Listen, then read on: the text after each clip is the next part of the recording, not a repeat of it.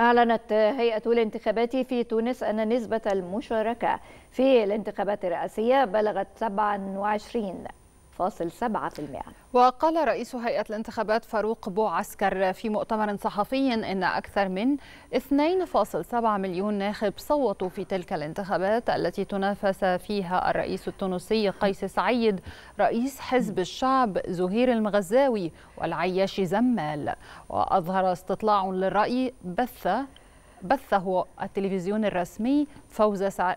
فوز قيس سعيد بفترة رئاسية جديدة.